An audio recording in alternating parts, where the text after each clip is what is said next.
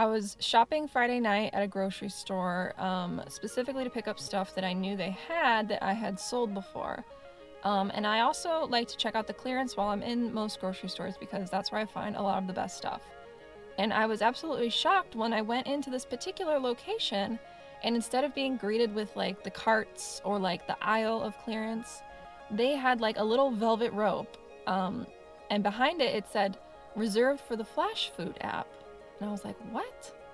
Like, you're gonna gatekeep the clearance and make me buy it through an app even though I'm in the store right now? That's crazy. I didn't want the inconvenience of having to download an app to buy something. Um, so I took a quick visual look and I didn't see anything I couldn't live without. So I just got what I came for and went back to the car. So I got in the car, my husband was driving, and I was like, I'm just gonna download the app, I'm gonna see what it's about, and um, maybe there's something to it. And I had a light bulb moment. Like, okay, I was upset because I was in the store wanting to look at the clearance and buy it. But this app could be used to view the clearance remotely of other stores, and then I could buy the stuff and make a plan to go get it. Like, actually, this could be something really useful.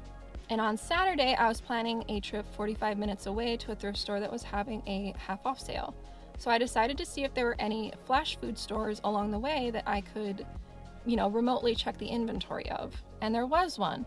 Unfortunately, there are not many flash food stores in my general area. They're all kind of spread out and would be like a trip I'd take on the way to something else. So as we're driving home, I'm flipping through the inventory, seeing if there's anything I might want to buy.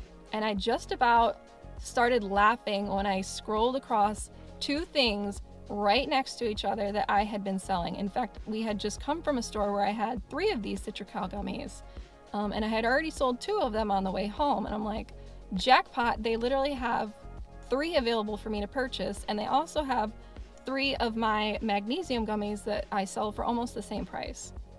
So I was like, okay, okay, I see you, Flash Food app. There's something here for me. So I'll get this out of the way first. Flash food is fairly new to the US, so unless you're in a handful of eastern states, you won't be able to experience it just yet. They just started by partnering with Meijer stores and have expanded from there and just came to my area in the last month, so there's a good chance you might see Flash food in your area soon. Here's the list of chains they're currently working with, but it's not a guarantee every store in the chain will be part of the program. The Meijers don't seem to be taking it seriously. The ones I checked on barely had anything listed, and what they did have listed was $5 produce boxes, which is cool, but not so good from a resale perspective.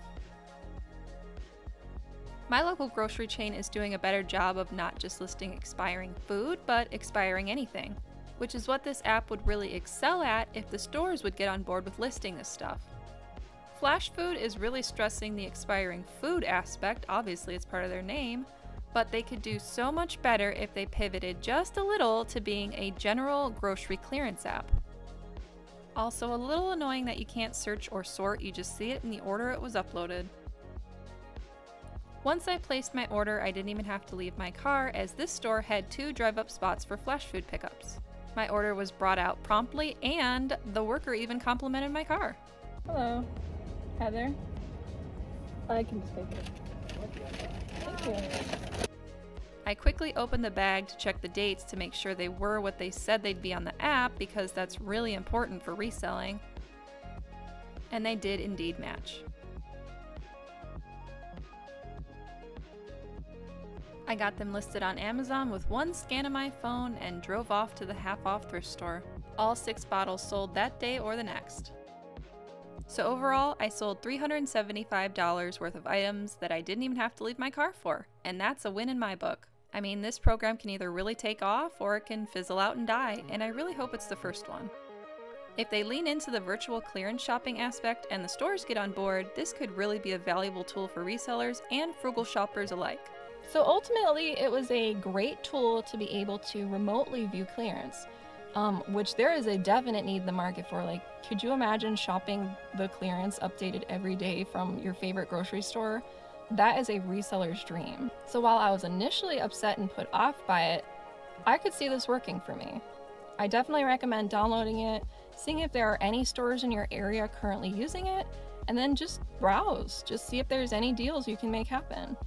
And definitely comment below or tag me on Instagram if you find a flash food deal because I would love to know if this is, you know, a one time thing that I lucked out on or if there's more to it. Resellers can always use a new tool in their pocket to help them make money, so why not give it a try? I hope you find something profitable.